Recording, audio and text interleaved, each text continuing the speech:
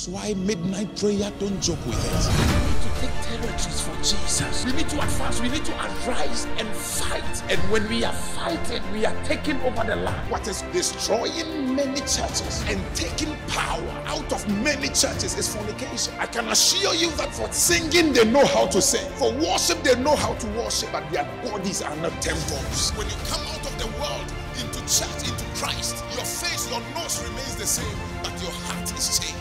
Your head remains the same, but your mind is changed. Your body remains the same, but your attitude is changed. Attitude of the world is entering the church, and now pride has entered the church so much that you cannot even talk to a minister. You cannot advise a minister. You cannot correct a Christian that no, this is not right, this is not good. You have to do this to please your God, and they want to do whatever they want to do in the house of God, and they call it grace.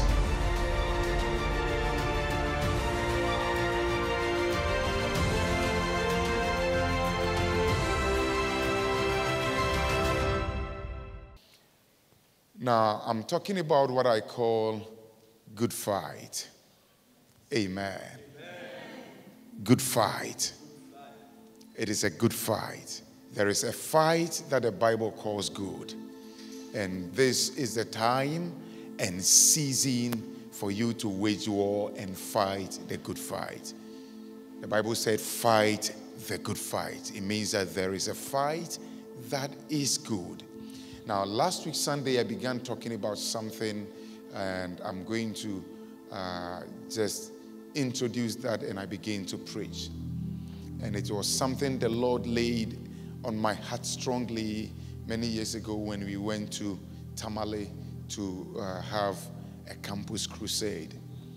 And in John chapter 18, verse number 33 to verse 37, the Bible said that Jesus was brought before Pilate. And Pilate is a heathen king. Jesus is the King of kings. Jesus is the Son of God. Now, when, Pilate, when Jesus was brought before Pilate, Pilate looked at him and said, Are you a king? There is something about kings. It takes kings to know, and it takes kings to see. He met Jesus for the first time. Then he looked at Jesus and asked him, Are you a king? Then he said, Your people have brought you to me. And Jesus looked at him and said, My kingdom is not here. Pilate answered, Am I a Jew? Thy own nation and chief priest have delivered thee unto me. What hast thou done? Verse number 36. Jesus answered, My kingdom is not of this world. If my kingdom were of this world, then would my servant fight that I should not be delivered to the Jews. But now my kingdom is not from here. Amen. Verse 37. Pilate therefore said unto him, Art thou a king then? Jesus answered, Thou sayest that I'm a king. So Pilate looked at Jesus and realized that he recognized something about him. He said, Are you a king? Now he wondered why a king was delivered to him. Because kings, the Bible said, the word, where the word of a king is, there is power. Every king has a subject, and the subject fights for him. So you see nations going to war, but the president is not at the forefront. The president is at his home and then giving instructions. Then you will see a people fighting for the president or fighting for the king.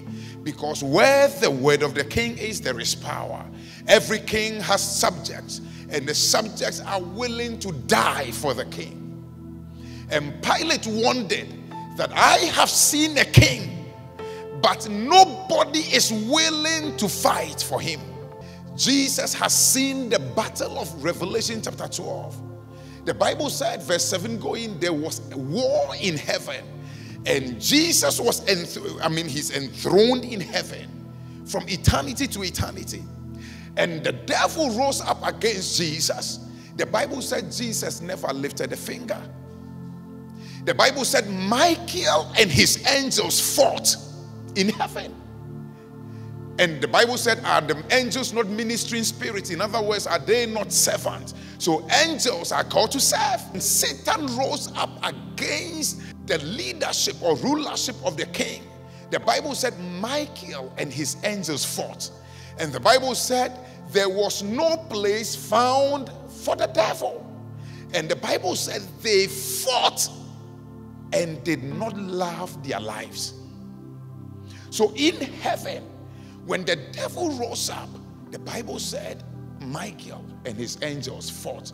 Now, here is Jesus on earth. The Jews rose up against him and he said, My kingdom is not here. Because wherever the kingdom is, the servant must fight. If the kingdom is there, the servant must fight. Hallelujah. Amen. If, the, if my kingdom were here, they will fight and they will not cause me to be delivered unto the Jews. So when Jesus died and Jesus rose up, he could have go, he, he could have, I mean, uh, gone to heaven the first day, showed himself to the Father. But Jesus said, No, I need to put a people together. I need to put a people together. I need to set up a kingdom on earth so that they will war after, they will war for me. They will fight everything that will rise up against me. So when Jesus rose from the dead, the second, the following day was not ascension. He said, Go tell Peter and my brothers that I am risen. And Jesus said, Wait here and be endued with power. So he set up a kingdom on earth. Mark chapter 9, verse number 1, the Bible said, Many of you here will not die until you see the kingdom. You will not die. Some of you here will not die until you see the kingdom of God come with power. So Jesus' agenda on earth was to establish a kingdom. Because wherever there is a kingdom, the subjects fight for the king. Wherever there is a kingdom, the servant fights for the king. Hallelujah. Now look at the political parties. If you are not careful and you don't know who is standing beside you, and you talk against a certain political party, you, you, I mean, you can receive a slap. Because in every kingdom, there are people that fight. So Jesus established the church on earth as the people who will rise and fight for the cause of the king.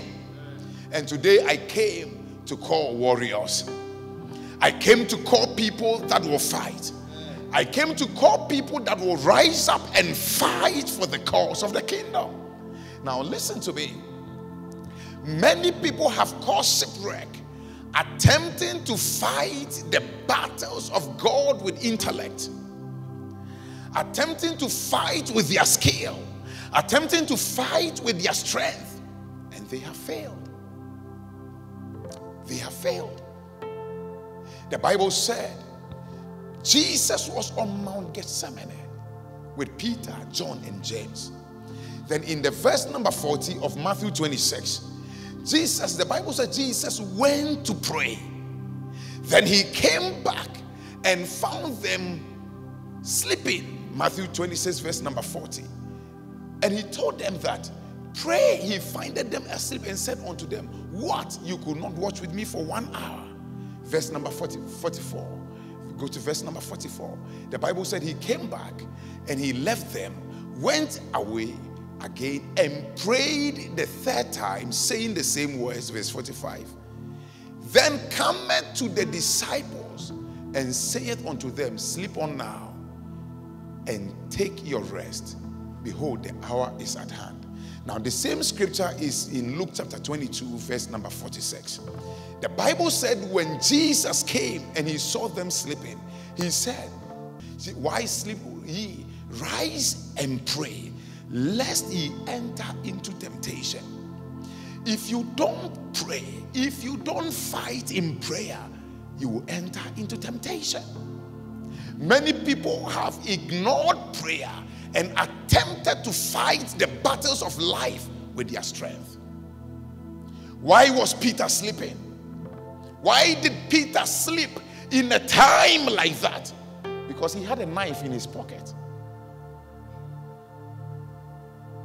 In a time like that, why could he sleep?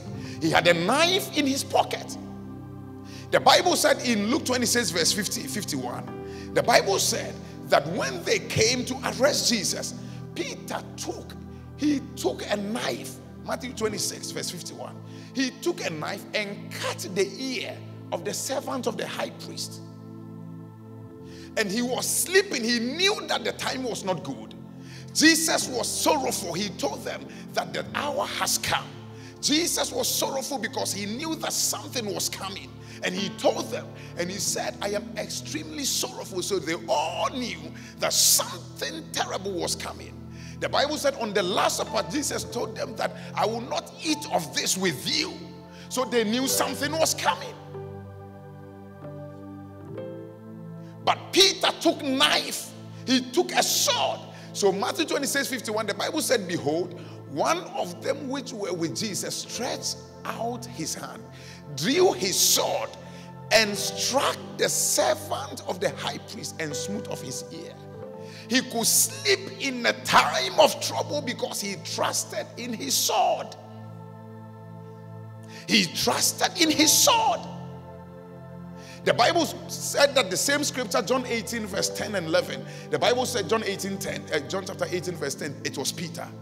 And the servant's name was Malchus. So the Bible said he drew the sword, cut the ear of Marcus. So Peter could sleep because he had a sword. Listen to me. There is a sword that cuts ear, but that sword will perish in your hand. That sword could cut the ears of the servant. But Jesus said in the verse number 52 of uh, Matthew 26, He said, Put the sword back into the sheath because the, the sword will perish in your hand. Is that in your Bible? Put again the sword in its place. For all those that take the sword shall perish with the sword. It will perish in your hand. If you try to fight life battles, fight demons with your academic qualifications, listen, the certificate will perish in your hands. Hallelujah. Amen. Amen.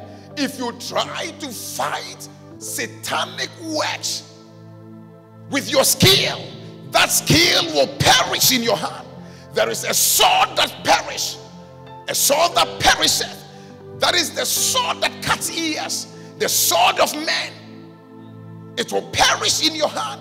But the Bible says there is a sword.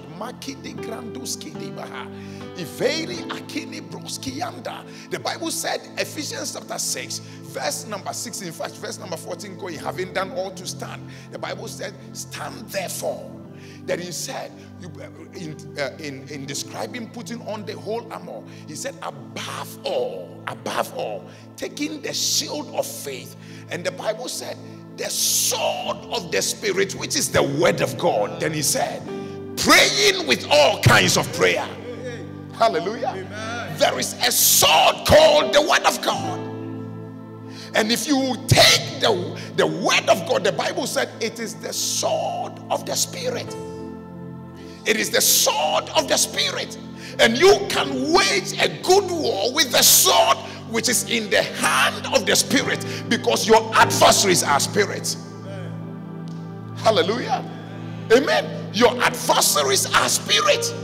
And you have you are you are fighting with a, a, a sword that was made somewhere, I mean, in uh, uh, somewhere around here, uh, or somewhere, uh, Chisewere.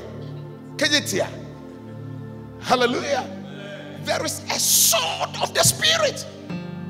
The Bible said, take the sword of the Spirit and then begin to wage war with it.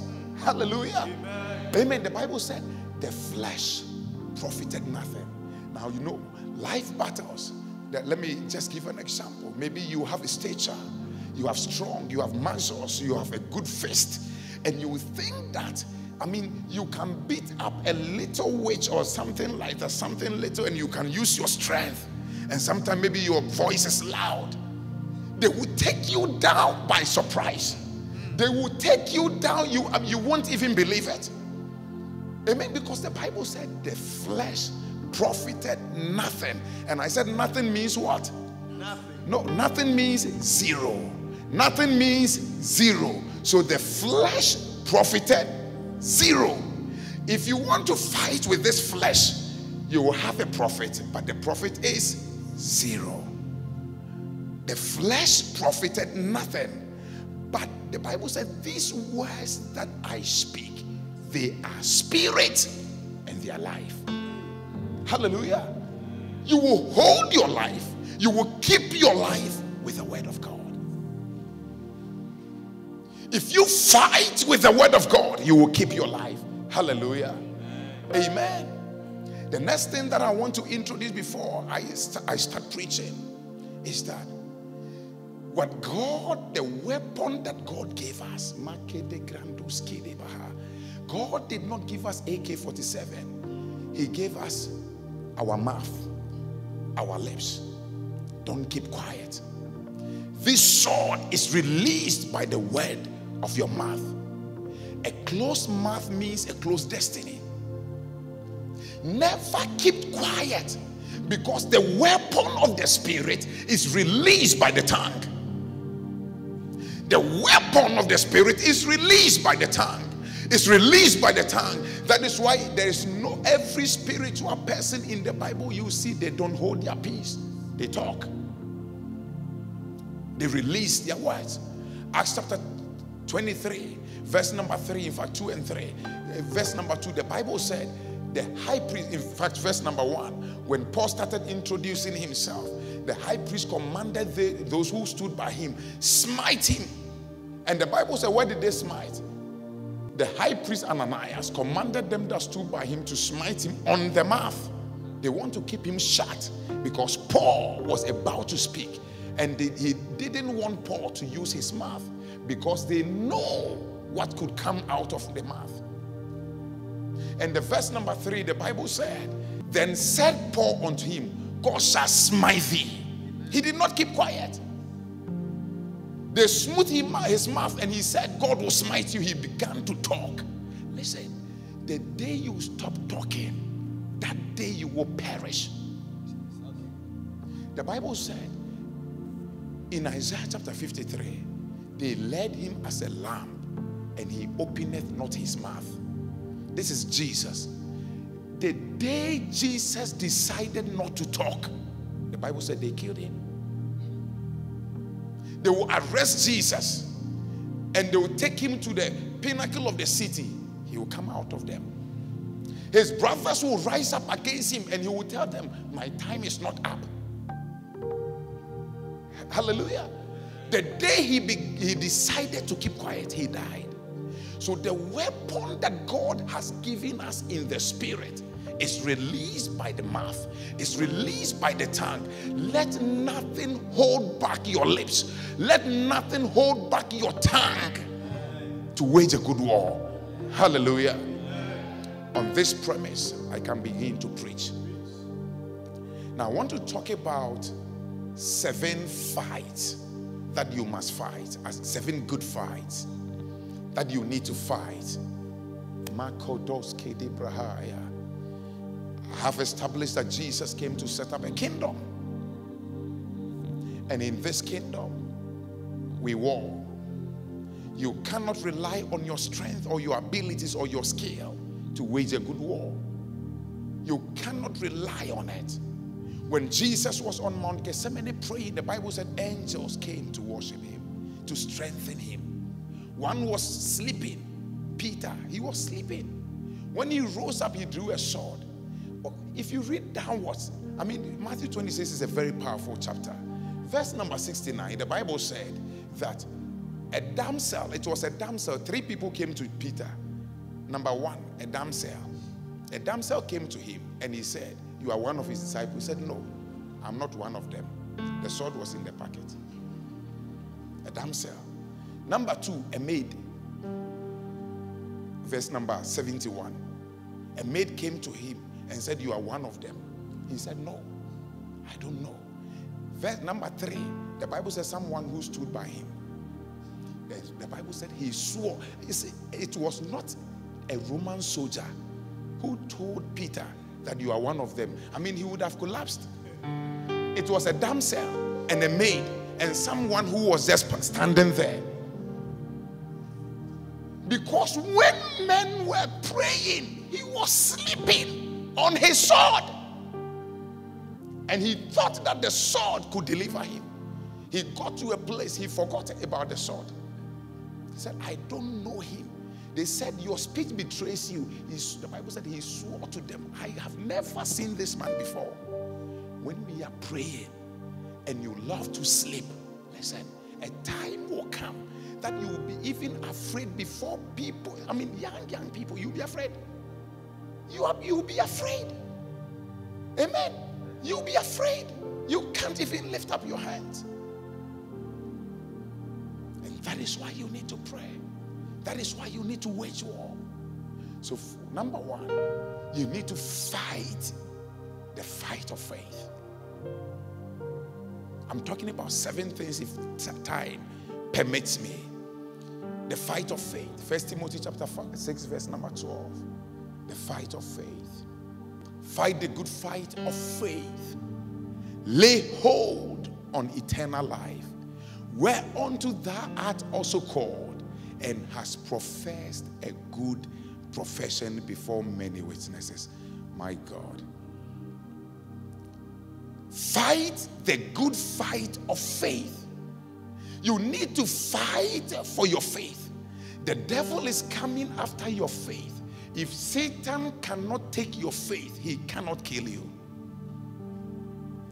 Listen, every person dies from within. Life is lived from within. Everyone dies from within. If you don't hold on to faith within, you will lose the life that you. And that is why the devil is coming after your faith. All the things you're facing and around you, what is the devil trying to tell you? No, this is not important. Don't believe in this. Don't believe, don't have faith and confidence in this. No, you are too smart so that you will not believe. And many people who do not believe are religious. It will surprise you to know that in the church, many people don't believe in Jesus. In the church. Many people don't, do not believe. Recently, I was sitting down and I was thinking, ah, what is, I mean, there's another word that you say everybody knows is a Christian. Another name for the church or Christian is called believers. So we call us what? Believers. So if you don't believe, what are you doing in, in church? Hallelujah. Because we are called believers. So it means we believe. What do we believe? If the Bible says that Jesus can heal you, we believe. We are believers. If the Bible says that you will prosper, we believe. If the Bible says you will not die, we believe. We are believers. So if you don't believe, what are you doing in Jesus? Hallelujah. How many believers are here? How many believers? So it means that we have been called to believe all things in Christ. All things in Christ. Everything in Christ. And the devil is coming after that very thing so that you will not believe. And you be religious. Oh, I'm in this denomination and this and that.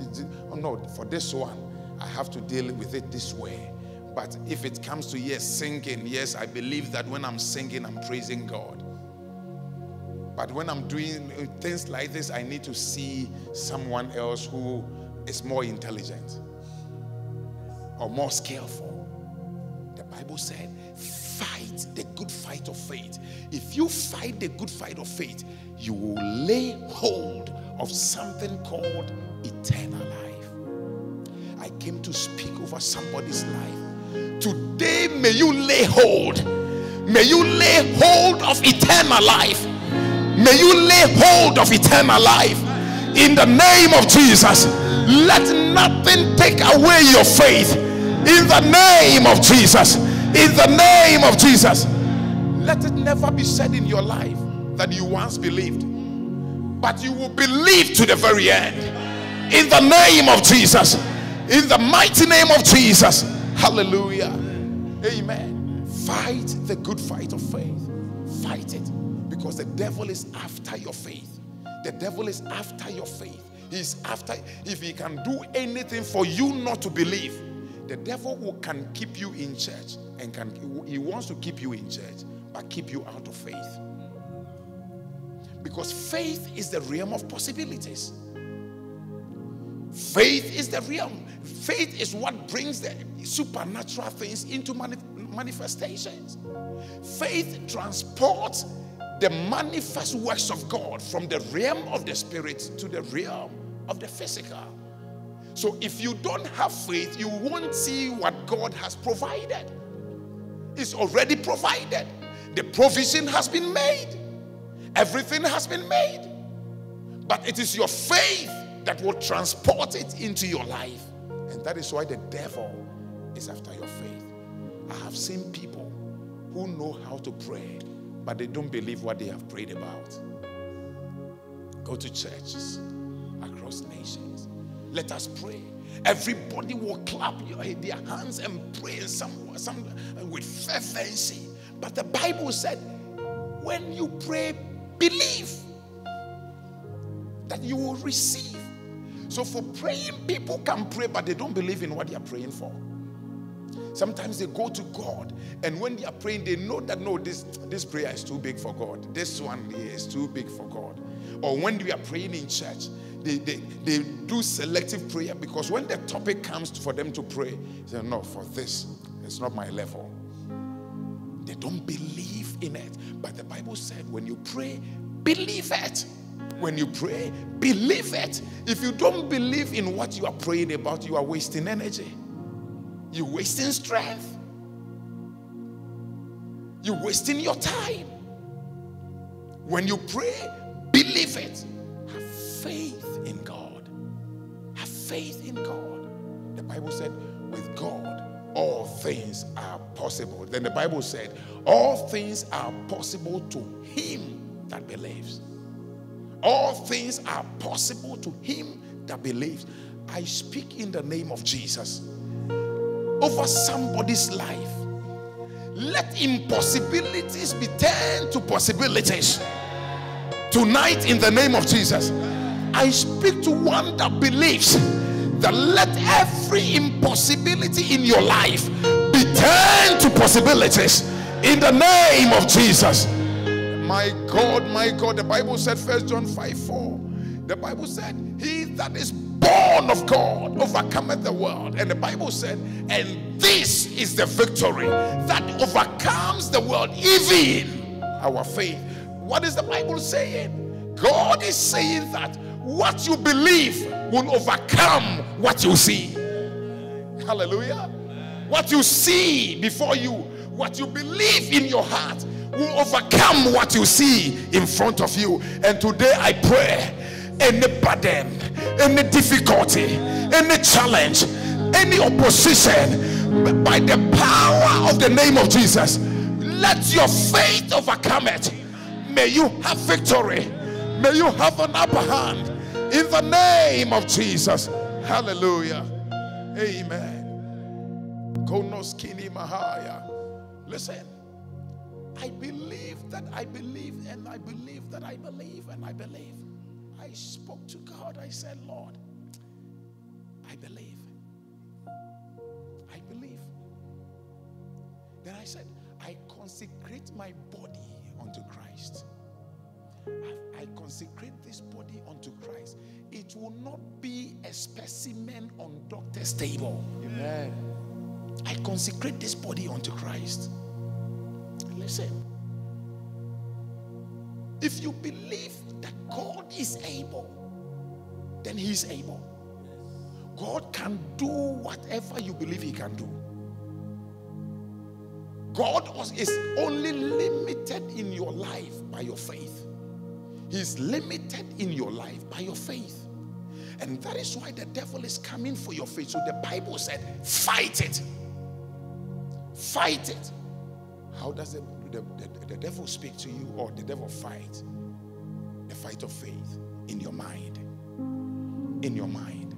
Sometimes whisperings, sometimes suggestions from people. Sometimes, I mean, you are trying to believe, and a friend will just pass by and drop a news unaware.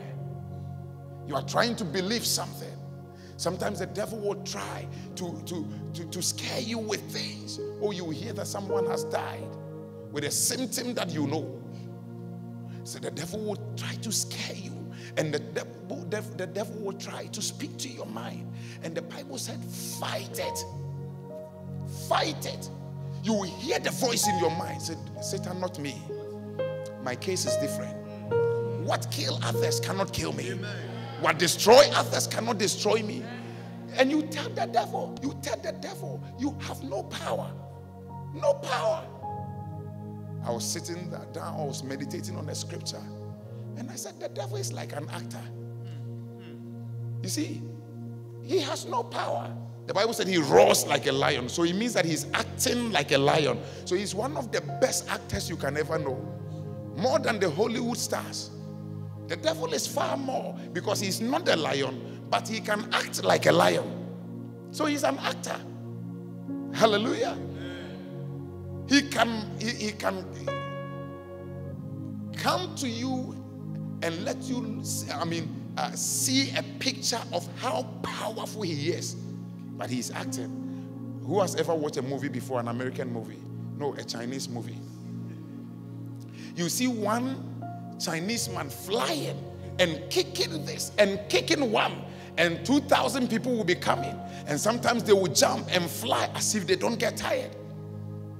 And you see, some of the people who, uh, I mean, act those uh, scenes or movies, they can't even win welterweight championship. One match, they can't even win it. But if you see them in a movie, they are the strongest people on earth because they are acting strength, but they are not strong. They are acting superhuman, but they are not superhuman. And that is how the devil is. And he does that so that he will weaken your faith. So the Bible said it's like the uh, uh, Father Christmas, those who dress like Father Christmas. They are big, but it's cotton, cotton inside of them. They are not actually really big. It's the clothing. So if you don't rise up to them and fight, you will see them as big and powerful. So that is how the fight of faith is. You tell the devil you are an actor, you have no power. You've lost the battle. Get out of here. You've lost the battle. You say it to his face. You've lost the battle. You have no power. You have no power. And you are fighting these battles in your mind. Satan, get off. I am a son of God. Get off me. I'm a son of God. I believe it. I will do well. I will prosper. You are saying it in your mind. You are saying, then you begin to say it with your lips. You begin to say it with your tongue. I will prosper. I will not be a left out. I will prosper. I, am not sick. I cannot be sick. You are saying things like that, and you are fighting by so doing. I told you that the weapons that God gave us is not uh, uh um, chemical weapons, it's our mouth and you are releasing it through the power of your mouth that, oh, I believe I am a son of God. I believe that I'm a son of God. I am redeemed of the Lord. Satan, you have no place here. Light and darkness have nothing in common. I am in the kingdom of light and you have no power over me. And by that, you are overcoming the battles of the enemy. It's a fight of faith. Fight of faith. Hallelujah. Amen. Sometimes too, they come to you as friends and they will attempt to humiliate you because you identify yourself as a Christian. How many of you have experienced that before? Oh, this one, Krife. Oh, and they attempt to mock you. They are afraid of you, but they can't tell you. They attempt to mock you so when they, they somebody asks you, "Are you a Christian?" No, you, you I mean, you, you you you hide yourself, or sometimes they they, they pretend as if they they are not part of us. He's taking away your faith. Fight for your faith. Yes, I am. I'm a Christian, and I'm not ashamed of it. Fight for your faith.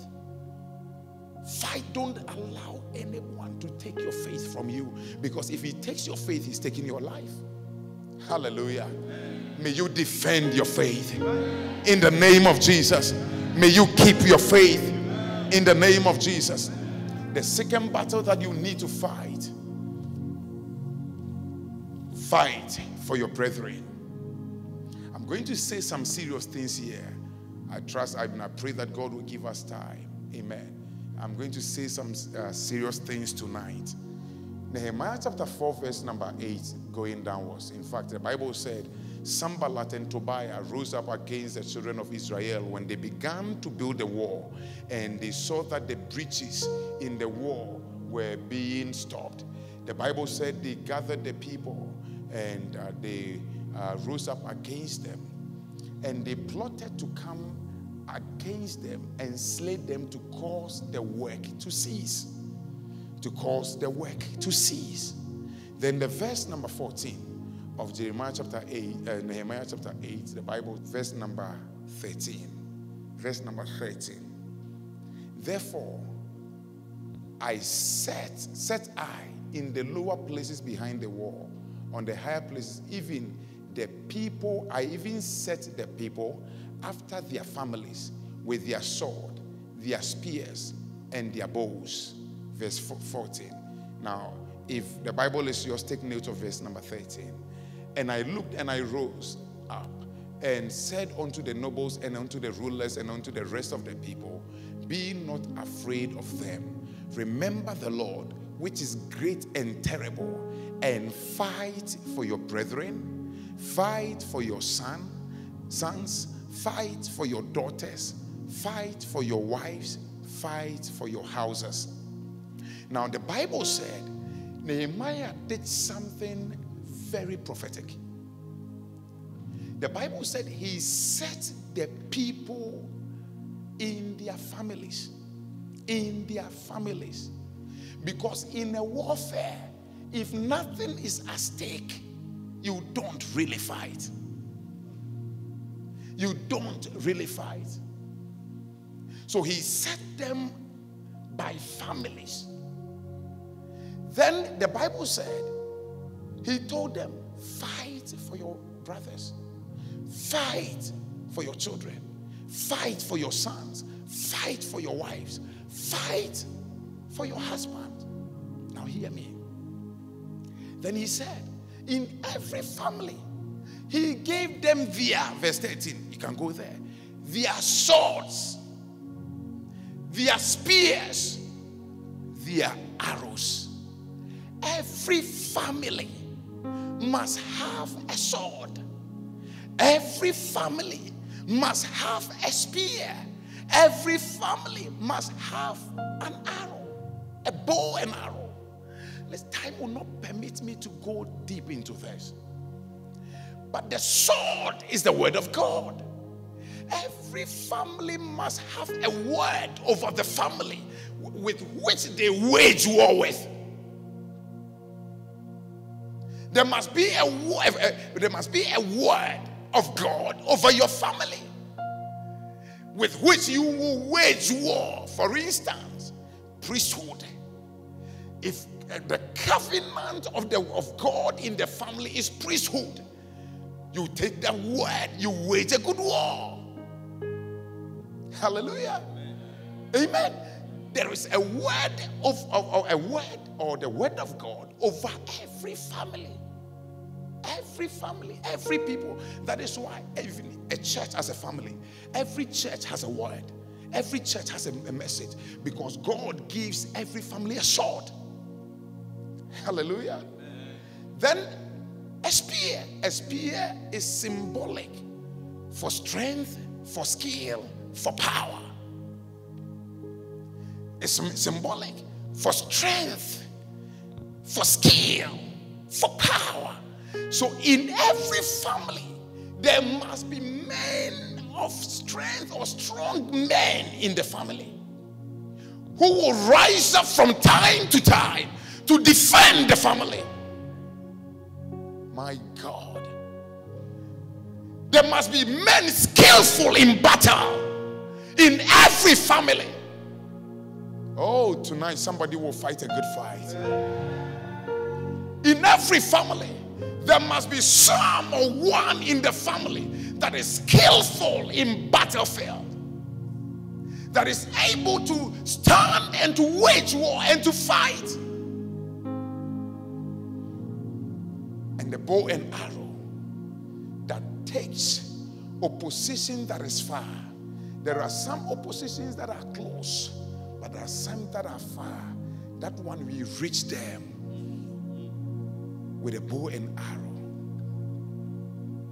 The biblical word for those people is called archers. They shoot, shoot at the enemy that is coming, the enemy that is forming. They dismantle and disintegrate the cloud that is forming against them. Then the Bible said, He told them, fight for them Fight for your brothers. Fight for your children. Fight for your wives. Fight for your husband. Fight for them. Listen, I'm going to tell something. If you take it, God will, God will bless you. You must fight for your family. God positioned you in the family because He knew you could fight. Don't allow Satan in the family to destroy every good thing in the family. It is your responsibility to make sure your children go to heaven. And therefore, you must fight. It is your responsibility. Fight for them bɔnsɛm tumi bɔ wura fie na wasɛ wasɛ abusua no and everybody will be watching and then the devil will have his way and the devil will win the battle win the battle the devil will win the battle because he will come in and destroy everything fight for the family sometimes poverty he comes in the family as poverty and nobody is able to lift their heads in the family, then we go to church and go home. And we go to church and go home. The mother is dying. The father is dying. Everybody is desperate. Someone is desperate. One day I watched a, a, a, a short video years ago, and he said, I was so sad. A, a, woman like that, a woman, and it looks like she was work, uh, working in a poultry farm and the video that came was that she had taken eggs, egg in her pocket. And this, I mean, a woman, uh, if you see the woman, she's not a thief. But uh, I mean, I'm not, I'm not saying I don't know her, but probably she's not a thief. But out of distress, might have taken some eggs for food. How much is an egg? How, why will someone, a woman, I mean, nice woman like a 40s or this, uh, that probably she has children in the home. You see, poverty can bring you to um, a point that you'll be humiliated. And sometimes we watch the brothers fail, we watch the sons fail. We watch the sisters fail. We watch our mothers fail. And there is a continuity of poverty in the family. And there is no one, no one willing to rise up and fight against it. So Nehemiah said, I set them by family so that they will see then I told them, fight for your family. It could be that you are the one that God set in the family to break poverty. It could be that you are the one that God set in the family to break the chain of poverty. Rise up and fight. Hallelujah. Rise up and fight. Stop sleeping. Rise up and fight. Rise up and fight. Recently, a man of God was telling me, I met him in Kumasi. He said he has a pastor friend. Nobody has built, nobody has bought a land, nothing in the family. Then he said one day he got the money, the money was not enough. He said, I'm going far away to buy a land, and I believe that when I buy this land, that curse will break. So he went and he said, I don't need the land, but I just want, I don't have money to buy, but I want, I want to buy the land for the devil to know that I have broken the curse. He bought the land and things open. Now he has lands in Accra, Kumasi, everywhere.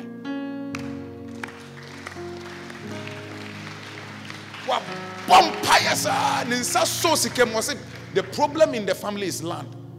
I can't buy land in Kumasi. Wherever it is land, it is land. Wherever you buy it, it is land. He said, I will buy it and break the curse. Listen, there are some of you who must rise up and fight and break the curse. Break the curse of poverty in the house, the curse of, of poverty in the home, in the family.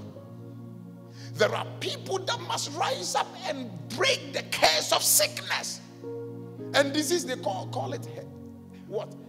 Hereditary diseases. How come when we, uh, uh, we, we are covenanted in the blood of Jesus, then what affects one come to this? And no, no, no. You rise up. There are people who must fast and break it. There are people who must wage a good warfare and break it. There are people who must commit themselves. I told God, Lord, I will not, not be ordinary pastor. Then I won't. Listen, I said, whatever there is in God, I must see. I must see. I must know. Hallelujah. It's not just by talk. Not that I love to preach. No. Whatever there is in God, I must know it. And it comes with determination. Someone who is determined to enter certain heights and levels in God. And it doesn't come easy. Hallelujah. Amen. Whatever there is in God, I must see. I must know. I must know Him. I must know Him. The way you love to sleep, you can't change the story. The way you love sleep, you can't change the story. Rise up and fight. He put them by the families so that when you see your wife, you rise. When you see your son and the devil is trying to destroy, you rise up. When you see your mother, your father, you rise up and wage a good war. And if you don't rise, when you see people like that, the Bible said, your brothers, your sons, your daughters, your wives, if you see them perishing and you won't lift a finger, then something is wrong. Then something is wrong with you. Sometimes what troubles them is not them, it's the devil. Fight against what is behind them. Peter stood, pulled Jesus aside, and said, Jesus, you are, don't say that thing again. You are not going to die. Jesus looked at Peter. He said, Get thee behind me, Satan. Not Peter. Satan was standing right behind him. Satan was standing behind Peter. So Jesus said, Get thee off, Satan. Get away, Satan. Not Peter. Because Satan was standing behind Peter and telling Peter, Tell Jesus that you are not going to die. So Jesus did not fight Peter, Jesus fought Satan. Sometimes we must rise in the family. You could see somebody, a brother or a sister or a this and that. Sometimes it's Satan. Rise up and fight them. Set them by the families. Fight for your brothers. Fight for your brethren. Fight for them. Hallelujah. Amen. You see, the reason why many people don't fight is that when you are fasting, they are eating. And sometimes when you are doing some spiritual exercise, you go into church, they are the same people laughing at you. Look at his shoe. But what you are doing is for them. Into show Musa I feel my bread. Because at the end of the no, ono na oya mano, but ono na oya mano no, osro. And you are fasting for the family. You are praying for the family, but obu abem. But the Bible said, fight for them. Fight for them. It's a good fight. I came to call people who will change the narrative of the family. I came to call men, irrespective of the issues and challenges and the difficulties, they will rise to the occasion and fight. They will rise to the occasion and fight. The Bible said, fight for them. From today, may you receive grace to fight. May you receive grace to break the poverty. May you receive grace to break the shame. May you receive grace to destroy the works of the devil. In the name of Jesus. Hallelujah. Number three, fight for the master's house. Fight for the master's house. Second Kings chapter 10, verse number 1 to 3. Makodoski di Mahaya. Fight for the master's house. The Bible said, and Ahab and 70 sons of Samaria and Jehu wrote letter and sent to Samaria unto the rulers of Jezreel, to the elders, and to them that brought Ahab's children, saying, hmm, Now, as soon as this letter cometh to you, seeing your master's sons are with you, and there are with you chariots and horses, a fenced city also, and armor. Mm. Look, even out of the best and meetest of the master's son, and set him on his father's throne, and fight for your master's house. Hallelujah. The Bible said, fight for your master's house. Look for the one that is meet, that is set, and set him on the master's throne, then fight for your master's house. I came to tell someone there is one that is set on the master's throne. His name is Jesus. The Bible said, set him on his father's throne, then fight for your master's house. Set Jesus on his father's throne in the church. Set Jesus on his father's throne. Then fight for your master's house. Set Jesus on his father's throne in the in your house and fight for your master's house. Fight for it. Fight for your master's house. Fight for your master's house. Today, many people don't care about the church because they see church as pastor. The church is Jesus. They don't fight. They don't do what they are supposed to do. Sometimes they don't do it joyfully because there is no fight in them. They are not willing to fight for their master's house. The Bible said in Matthew 21, verse number 12, Jesus entered the temple. And the Bible said he overturned the tables of those who sold and bought in the house of God. That was his father's house. Jesus, walking as a man, went into the temple of God cast out all of them that sold and bought in the temple and overthrew the tables of money changers and the seat of them that sold doves in the church, in the temple, the master's house. The master's house. The things that concerns the work of God. The Bible said, fight for it. Fight for it. People will go to church and they don't care. Whatever happens should happen. I mean, I've just come to sit and I'm, I don't, I'm not, I, I just came. They are even lucky that I came to church.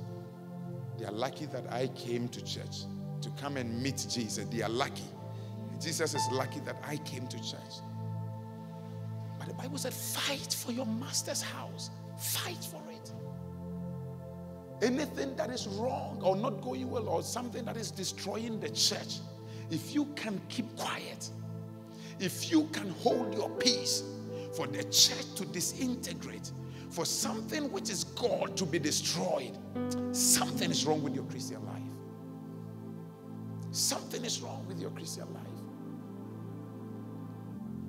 Sometimes there will be little arguments that you know that you know that could turn into turmoil and destroy God's church. And you can sit idle, unconcerned. Something is wrong. Something is wrong. You must be emotional about it. You, you, um, you, your heart must be in it because you don't want the house of God to be destroyed. It's the master's house. Anything that defames Jesus, the Bible said, and the fame of him went run about the region. I'm talking about Jesus. Anything that would defame him, anything that would destroy the reputation of Jesus, you don't watch. You fight for it. You fight for your master's house. I pray that may God raise people. May God raise young men and young women who will love the word of work of God, who will love the cause of the kingdom and fight with their lives and lay their lives down for the kingdom in the mighty name of Jesus. I pray that in this generation, God will raise young men and young women who will be passionate about the things of God, passionate about the things of God, and will fight for the house of God in the name of Jesus. I pray for God to raise a people who will go out of religion and step into true love of God. And step into true love. A people who genuinely love Jesus, a people who love Jesus with their heart, a people who are passionate about their love, a people who are zealous about their love for Jesus and about the cause of the kingdom. Who cannot watch, a people who cannot watch, who cannot watch evil to propagate in the house of God. My God. fight for your master's house. And I want to tell you this before I go to number four. There is a master's house that sometimes many people do not recognize. The Bible said, Know ye not that your bodies are the temples of the Holy Ghost? If we call the walls and building temples, the Bible said your body is a temple. And the Bible said, fight for your master's house. Enthrone Jesus in this temple and fight for your master's house. Keep this body. Keep it for Jesus. Keep it for Jesus. Sometimes it beats my imagination. I can't even put my understanding to this. Wow. Why someone, Holy Ghost filled, a lover of Jesus, Holy Ghost filled, will go and lay his body and the Holy Ghost down for an infidel to touch.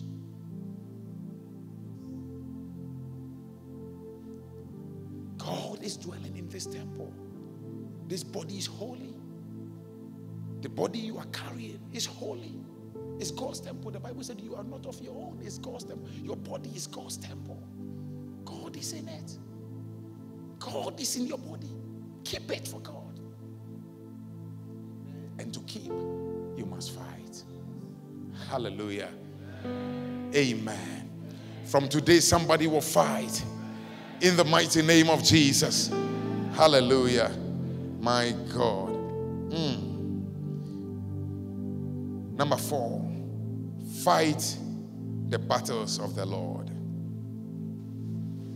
Fight the battles of the Lord. 1 Samuel 25, verse 28. In 1 Samuel chapter 25, the Bible said,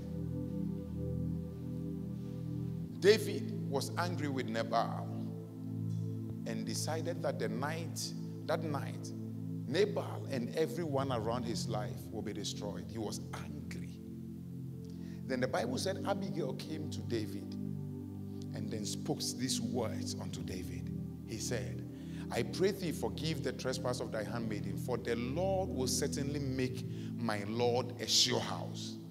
Because my Lord, which is David, fighted the battles of the Lord, and evil has not been found in thee all thy days, all the days. Verse 29. Yet a man is risen to pursue thee, which is Nabal, who is risen to pursue David, and to seek thy soul. But the Lord, but, but the soul of the, my Lord shall be bound in the bundle of life with the Lord thy God, and the soul of thy enemies, them shall he sling out as out of the middle of a sling. Abigail came and told David, Listen, do no harm to Nabal. For you, you fight the Lord's battles. You, David, you fight the Lord's battle.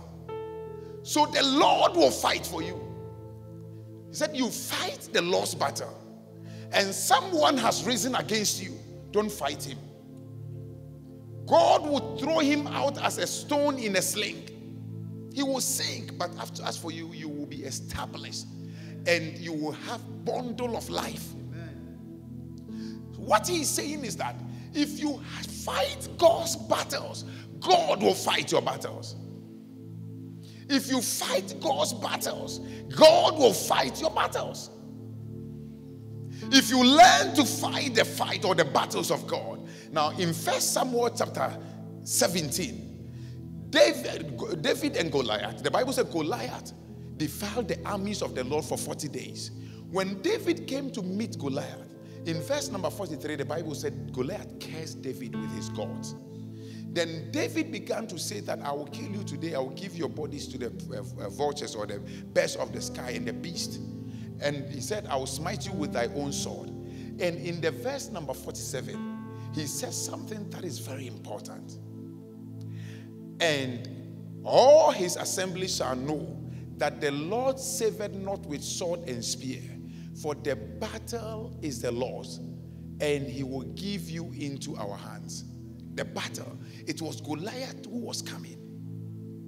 Goliath was roaring. But the Bible said, David said, the battle is the Lord's, it's God's battle. But I am standing here. It's God's battle, but I am facing you. This battle is God's, but I am facing you. So if any man fights God's battle for him, God will fight for him. Hallelujah. Amen. This battle, he told Goliath, it is God's battle. You see me because I'm fighting God's battle for him. Abigail told David, because you fight the Lord's battles, the Lord will fight for you. And in 10 days, Nabal died. 10 days, Nabal died. The Bible said, and God smote him. So God killed Nabal. Because, and David said, No, I will not fight God's battle. In 10 days, the Bible said God smote Nabal and he died. Anyone stands to fight God's battles, God will fight for him. What am I talking about? There is an arch enemy of God. It is God. His name is called Satan. It is God who, is, who must fight that battle. But if any man stands and say that God, I will fight that enemy for you, God fights for him. So winning is God's battle. Hallelujah. Amen. It was God who came to die. Then he said, Go. Anyone who has learned the mystery of soul winning, to win souls for God, God fights for him. You can't be a soul winner and die. Check the old, the evangelists, the soul winners. Check the, their ages. Check apart from those who were martyred. Check their ages in a recent history. All, the, every one of them died above 80. 80, 89. Bill Graham, 99 years. They live, they, if they want to even go, they, they can't go. They, they, because God satisfies them with long life. You can't win souls and perish. It is not possible because you are fighting God's battle and God must fight for you. Hallelujah. Amen. If you begin to, or if you give your life to do the work of God, listen, you don't need to be an apostle to do the work of God. You don't need to be a bishop to do the work of God. You can do the work of God as you, as you are with your same title, with your no title. Your no title. You can do the work of God. If you begin to do the work of God, God will fight your battles for you. Many people are fighting and losing their battles because they are not fighting the Lord's battle. But the day you begin to fight God's battle, God will step in for you and God will fight. I speak over somebody's life. I speak over somebody's life. The Bible said his name is called El. His name is called El. May El stand and fight your battles for you in the name of Jesus. My God, my God, I pray for someone who will position himself, who will position herself between God and God's enemies and say unto God, I am fighting your enemies. I am going after anyone that hates my God, anyone that is wants to destroy my God. I will fight it, and may God stand in for you in the name of Jesus. In the name of Jesus, all power in heaven and on earth has been given unto me. Go, I am with you. Go and fight, and I'm with you. So if a man decides to fight God's battles, God fights for him. I pray from today, may God fight for you. I said, today, may God fight for you. In the name of Jesus. Hallelujah. Amen. Ah, we're going to pray. It is a good fight. It's a good fight to fight the Lord's battle. It's a good fight to fight for your brothers. It's a good fight to fight for your faith. It's a good fight. It's a good fight. Number five. Ah, Jesus. Hmm. In fact, if I if you only preached number five, you would have been a blessing. I'm going to say some deep things here. Number five, fight for the inheritance. Fight for the inheritance. Fight for the inheritance. Now, when you come to the natural realm, inheritance is what the Father has given for a family or for a people. The provisions of a father. Fight for it. I'm going to say some deep things here. Please do not forget. Joshua chapter 1. We are reading through verse 2 to verse number 6. Please do not forget. Mm. Moses, my servant, is dead now. Therefore, arise. Moses, my servant, is dead now. Therefore, arise. Go over this Jordan, thou and all these people, unto the land which I do give to them even to the children of Israel. Now, if the Bible is yours, underline the word the land which I do give. The land which I do give. The land which I do give. My servant is dead. Every place that the sole of your foot shall tread upon, that have I given unto you, as I said unto Moses. Every place where the sole of thy foot shall tread upon, that have I given unto you. Verse number four. Hmm. From, then he gives demarcation from the wilderness. Ah, I've given you the wilderness. and unto the rivers, and unto the land, unto the sea, towards the going down of the sun shall be your coast. Have you seen these key words? The wilderness, what I'm giving you, the wilderness, the rivers, the land, the sea, I'm giving it unto you. So even the wilderness is uh, uh, symbolic for distress or for pain. And even that the Bible said, I have given all things under your command. Trouble shall not prevail. Even the wilderness I've given into you. The place of want I've handed over to you. I've given that to you. Now, the verse number five, then the Bible said, There shall not be any man be, there shall not any man be able to stand before thee all the days of your life. As I was with Moses, so will I be with thee. I will not fail thee nor forsake thee. Number six, then he said, Be strong and be courageous. For unto these people shall thou, thou divide for an inheritance the land which I swear unto their fathers to give them. Now, hear me. I, I pray that you receive it I pray that you receive this. The Bible said in Deuteronomy 31, verse number 7, is it 7 or 17? Verse number 7.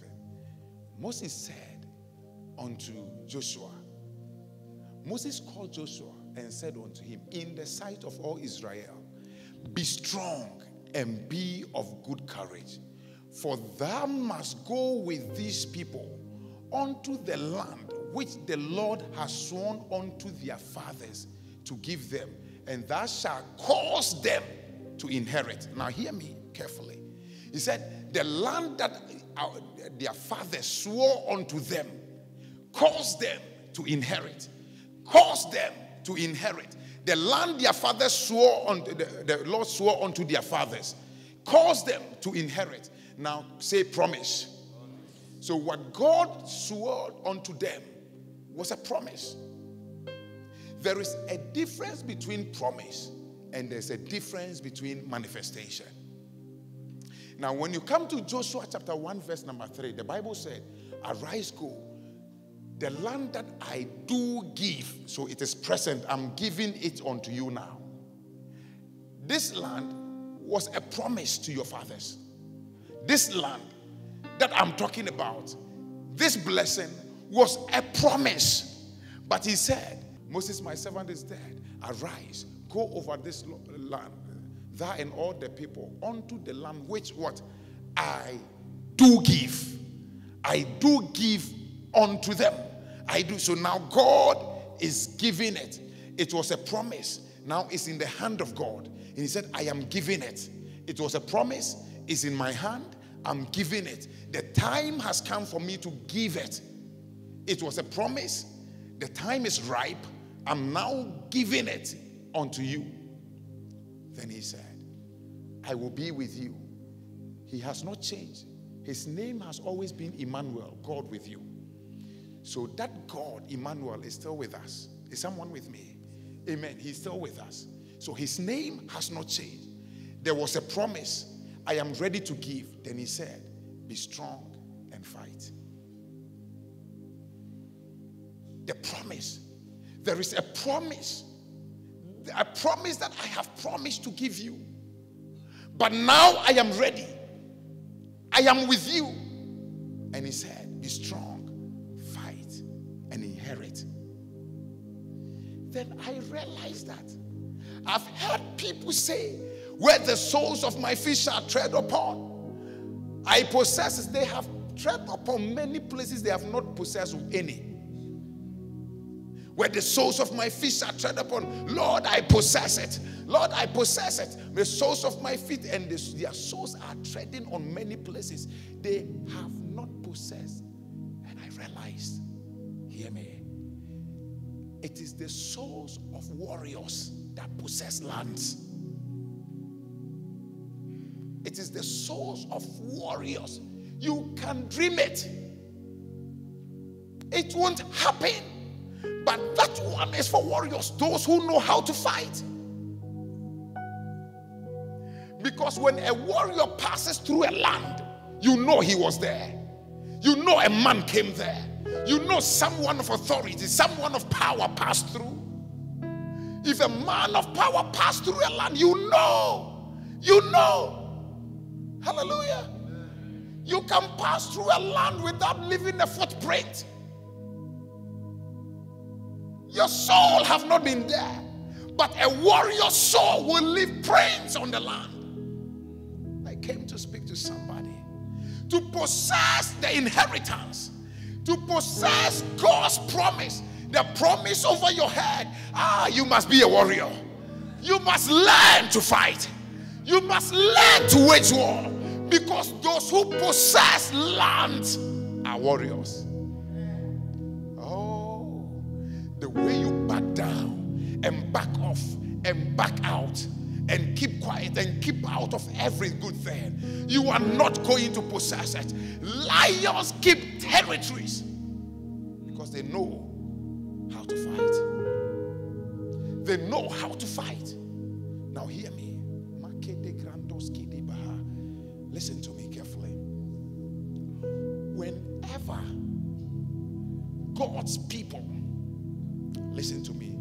This one the Lord told me or showed me, and I want to tell you. Whenever God's people have to dwell in Egypt, He sends Joseph ahead of them. When God's people have to dwell in Egypt, he sends Joseph ahead, ahead of them. The Bible said, Joseph said, God sent me ahead of you to preserve you a posterity. So God sent Joseph ahead of them. Now, who is Joseph? What is the kind of Joseph? Egypt is the world. There are many things and, uh, uh, in this world. If a Christian has to be there, or Christians have to be there, God will always send a Joseph ahead. For instance, there are certain companies and organizations, there are courts and courts and groupings and this, and uh, I mean cartels and that and that and that. So Christians don't survive there. The young lady goes to the workplace, three months she's pregnant. Two months have been used by four or five managers. So, in places like that, God sends Joseph's there to prepare the place so that the children of God who will come will live in prosperity in the same land. So there are certain offices that you work. People enter any place. There are places when you have the Josephs ahead of you, you will prosper. Because you eat free. You will survive there free. You will live as a king. Whilst even the people in Egypt were begging for food. Joseph's family were eating free. They were selling their lands for food. The family of Joseph were eating for free. So, in, if God's people have to live in Egypt, God will always send Joseph ahead of them. He will always send Joseph ahead of them, the kind of Josephs ahead of them. The kind of Josephs are the people who can endure, who can fight back, who can preserve, protect themselves. It doesn't matter prison, it doesn't matter challenges. They can survive the environment and then break through. The kind of Joseph are the people who will sleep one night as a prisoner, the following night as a prime minister. Hallelujah.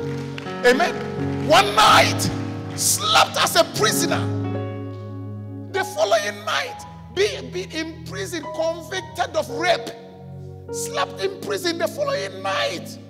A prime minister. So that all the people who destroys others will now become his subjects. And then God's people will have someone in the realm of authority and they will be preserved.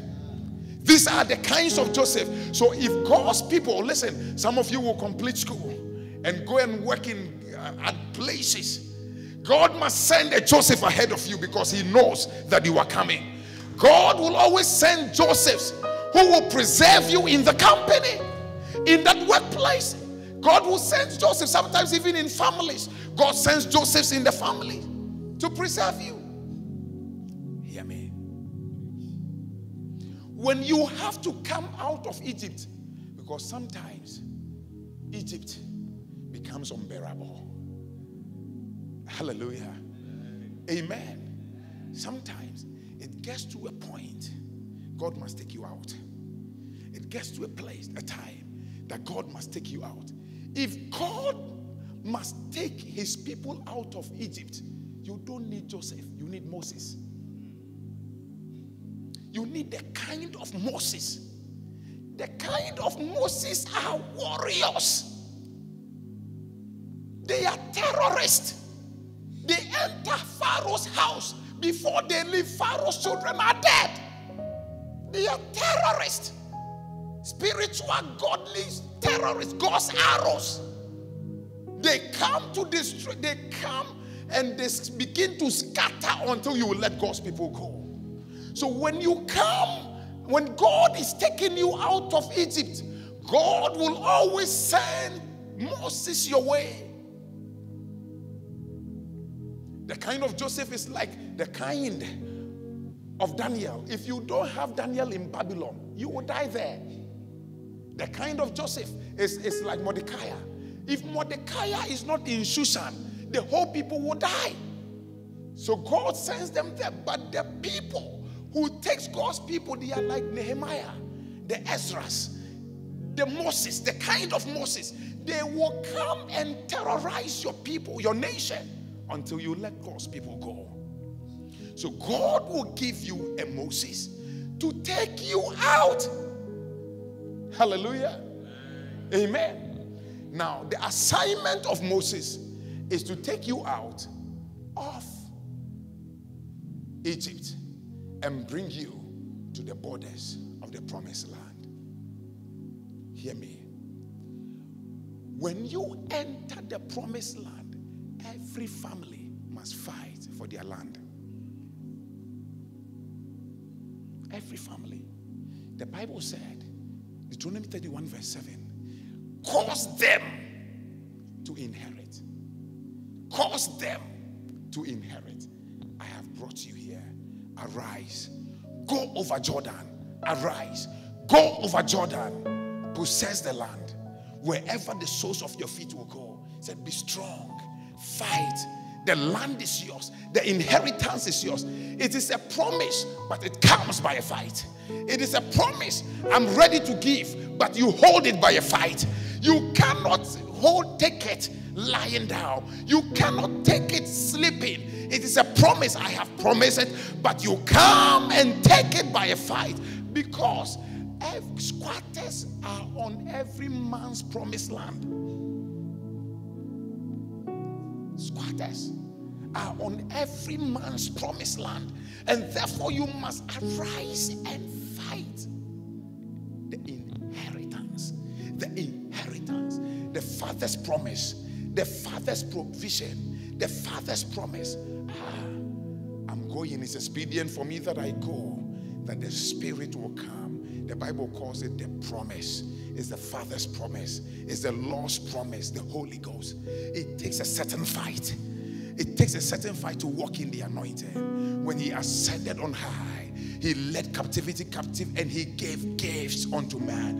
It takes a certain fight. Sometimes it takes a war of prayer and fasting. God, I am ready. God, I need your anointing. God, I need to walk in the supernatural. God, I am thirsty for it. My generation must see the glory and the power. My generation must experience the glory and the power. It's God's promise, but it takes someone who is ready to possess that inheritance. It's God's promise. It's God's promise. He's ready to give it, but someone must arise Someone must arise and fight for it. I came to call someone who is ready to take on the inheritance. I came to call somebody who is ready to take the inheritance in the name of Jesus. And I speak by the power of the Holy Ghost. You will not be ashamed if you rise for the inheritance in the name of Jesus. My God, my God, when you are reading the scriptures, you will chance upon something that is called a promise. God's provision. I am the Lord that healeth thee, is God's promise. Someone must arise and take it. Someone must arise and fight for it. And I am the Lord who giveth thee power to make wealth. Oh,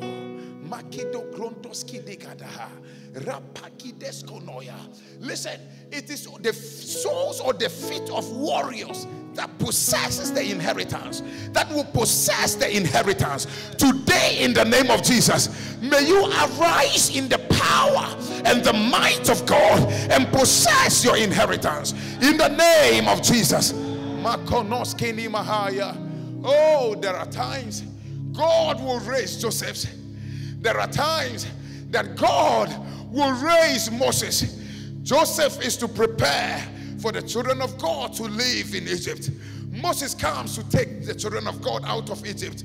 But there are times that God raises the kind of Joshua to cause men to inherit. My God, my God, I stand here in that order to cause someone to inherit the promise of God over your life. Whatever God has spoken over your life, that is called a promise. Today I stand in the power and in the order, in the order, in the mantle of Joshua to cause God's children to inherit their land, to inherit their promise in the name of Jesus. In the name of Jesus. The season of wilderness is over. They stayed in the wilderness. They stayed in the wilderness 40 years. But the Bible said the time has come. I am ready to give unto them. Rise and fight. There is a day, there is a moment that you must transition from the wilderness to the promised land. It is the day that you are determined to fight for the promise. I came to call someone. The days of the wilderness is over. You must be tired of the wilderness. Your season of the promised land has come. I came to call people. I came to call the sons and daughters of God. This is your time. This is your season to inherit the land in the name of Jesus. May you inherit your land.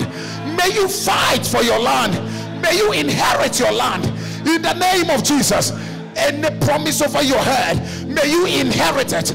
I came to cause you to inherit. I came to cause you to inherit in the name of Jesus. I came to stir up a fight in you. My God, my God, don't be satisfied with the, with, with, with the wilderness. I came to stir up a fight in you. The promised land is yours. The promised land is yours. It is time to give it. It is time to give it in the name of Jesus. Come and begin to lift up your voice. Mahaya.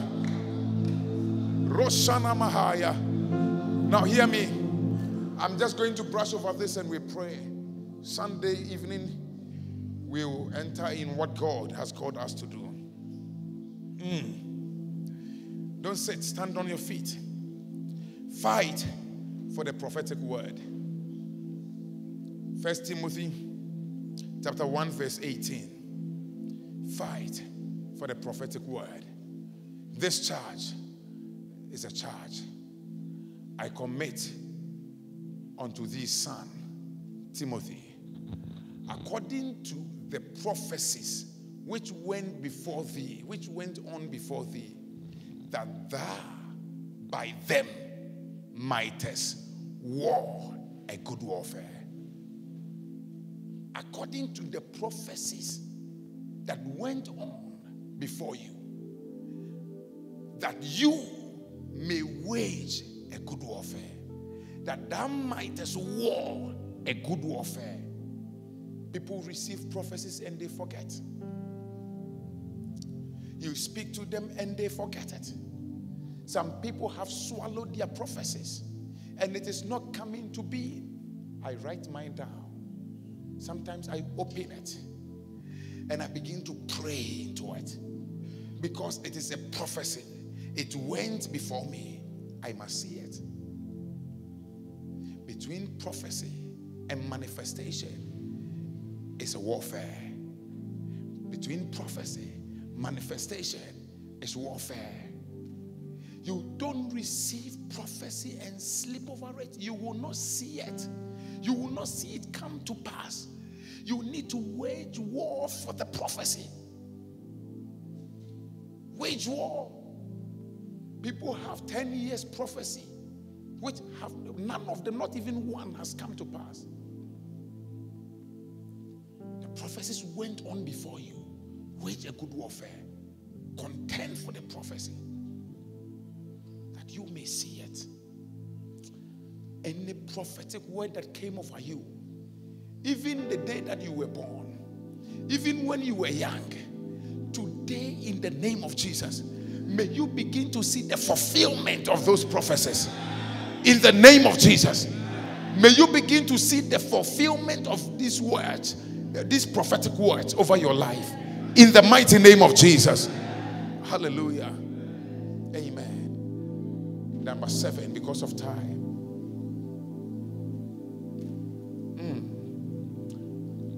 Second Timothy chapter 4, verse number 7.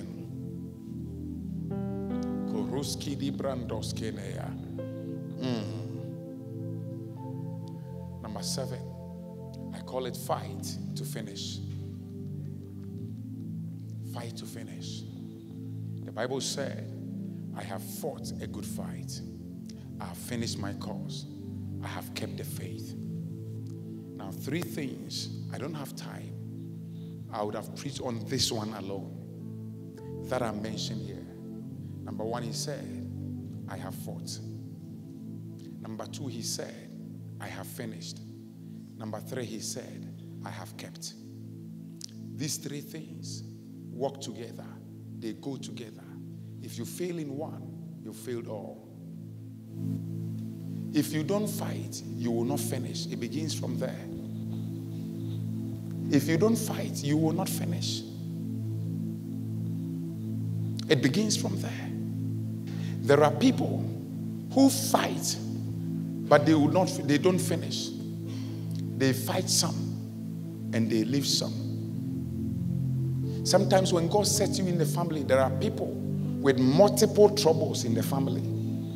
Poverty is there, sickness is there, this is there, that is there, and that is there. They fight one and they leave the rest. They don't finish. Paul said, I fought, I finished. God placed you in the family to finish everything there. Fight and finish it. Fight and finish. Fight and finish. There are people that are carrying multiple assignments, multiple destinies assignments. I tell you, there are people who are called to be preachers, who are called to be song ministers, who are also called to be businessmen. There are people like that, multiple, endowed with multiple grace. Multiple. They take one line, they never finish. They fight, but they don't finish. They fight, they don't finish. Then the Bible said, I have kept. What has he kept? The faith. What is that talking about? There are people who fight and what they are trying to do, they finish it, but they don't finish it in the faith. For instance, someone may be fighting poverty, will be fighting poverty, uh, bonfire. Uh, so things are not turning up the right way. Then he will go to, go to and join an occultic group and still go to. So then poverty, he gets a lot of money. Poverty is gone. But they fight, they have finished the course, they have not kept the faith they don't finish it in the faith, it is waste. It is waste. So, whatever we begin to fight, we must finish it. But when you finish it, you must make sure the boundaries are the boundaries of the Christ, the boundaries of the Word of God. You finish it in Christ, you finish it in the faith. There is no need to make money, which is not God's way. No need. It's useless. Useless. I mean, you can you can become a millionaire overnight in today's world, in today's social media world. You can strip your body, start going naked, take pictures on social media. People will come after you. Oh wow, and likes and this and that. All of a sudden, you're a millionaire. Become a professional prostitute. It's like that. But you're not doing it in Christ. So you've not kept the faith. You've not kept the faith. Your target is to destroy poverty. You might have destroyed poverty, but not in the faith. So the Bible said, I fought the fight, I finished the course, I have kept the faith, and therefore a crown. Therefore, a crown. That is when you can receive God's crown. The fight to finish. Don't start when you don't want to finish it. Don't start. You came to church because you want to see the Savior one day. One day. You want to be with God in heaven. Don't come to church when you don't want to go to heaven. No. If you don't have the mind to be with God in heaven, what, what, what use is it? You want to dress and come to church, but you love hell. No. Make up your mind to fight and finish. Fight and finish. Fight and finish. Finish it in the faith. Finish it in Christ. Finish it. Somebody's life is changing. Somebody's story is changing. You will fight and finish. I speak over somebody's life. You will fight and finish in the name of Jesus. I want you to lift up your voice. We are going to pray because of the time. But pray to the Lord. Lord, the faith. The Bible said, fight the fight of faith. You want to fight this fight of faith. God, give me grace to fight. Grace to fight. Grace to fight the fight of faith. The grace to fight. Fight. The grace to fight. Lift up your voice and begin to speak to the Lord.